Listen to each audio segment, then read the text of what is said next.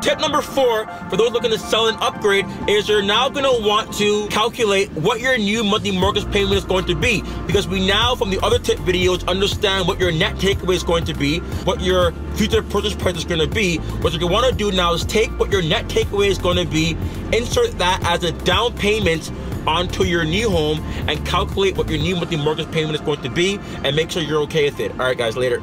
Hey guys, what's up? So if you found this was helpful, you want to kind of follow me, please subscribe and support my YouTube business page. I'll be adding content uh, twice a week on a go for basis, all right? Later, guys.